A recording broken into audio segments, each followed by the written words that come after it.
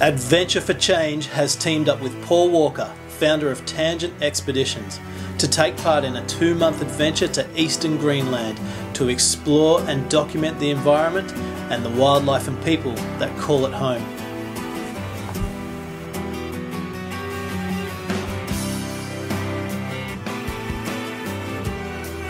But you just don't go to Greenland, you have to get there.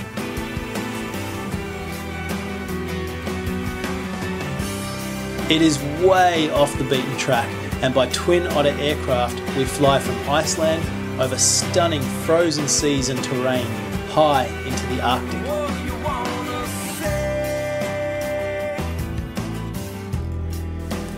Our destination is Constable Point, midway up the eastern coast.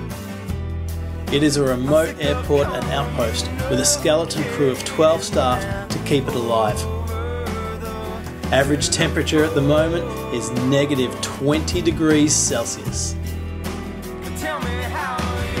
Our base camp is situated just nearby and consists of two shipping containers for accommodation, two for storage, and a weather haven tent for most of our equipment. But first, we need to get in and set up for the season ahead.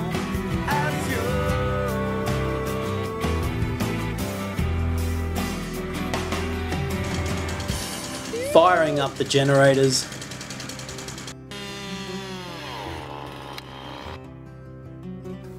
Finding lost equipment in the snowdrifts. Organising our food rations.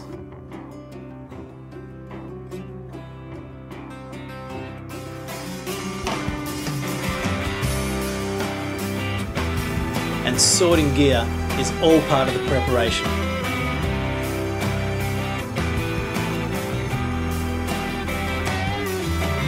After two long days of work, we can finally move in.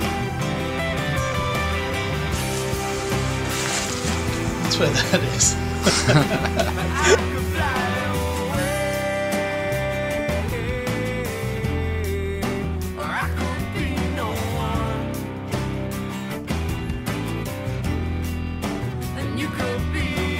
The weather is cold and clear, and as the Arctic sun sets, we are blown away by a sensational display of one of the most spectacular natural phenomena, the Northern Lights.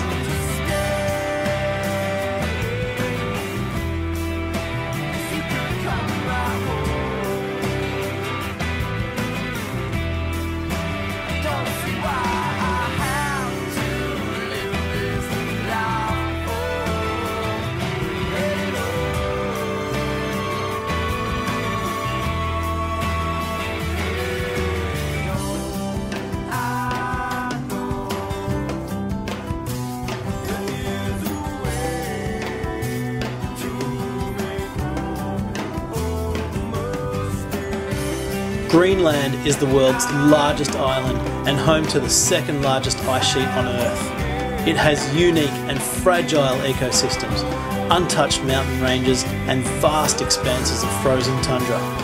With the help of Tangent Expeditions, we have lots to explore.